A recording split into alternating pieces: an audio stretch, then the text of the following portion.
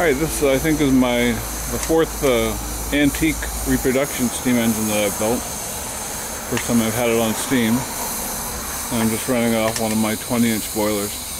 And they're well matched because that boiler will keep up with the steam that it uses. So I'll turn on the valve here. See how it goes.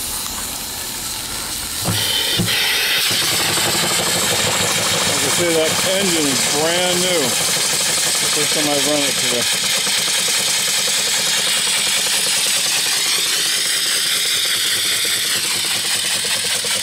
I just got a little exhaust pipe going out there. That exhaust pipe should go up the stack of the of the boiler though to get better draft.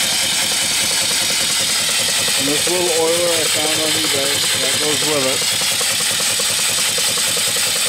Got oilers on the sides here now. That's new. And release valves at the top.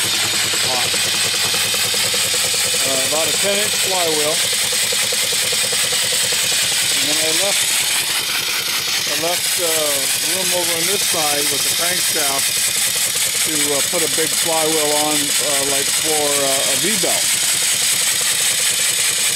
And then you could run a generator with it generate electricity. So it's got forward and reverse.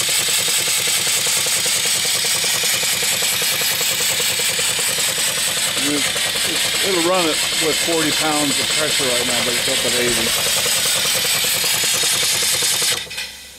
80. You don't need to to uh, stop it to go from forward to reverse either. I just it's hard to do with one hand here.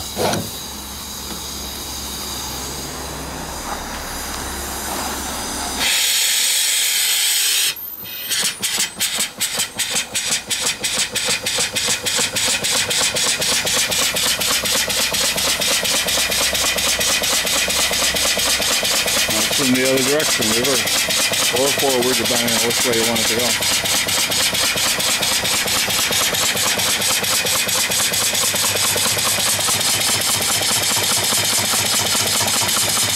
Course, uh, stand that I've got underneath it kind of starts bouncing up and down, so it's not the best for it. Of course, it doesn't go with it. The lifting part doesn't go with it, and the hose don't go with it either steam hose. just the oiler and everything else. Nice engine. As soon as it's broken in, it'll run a lot smoother.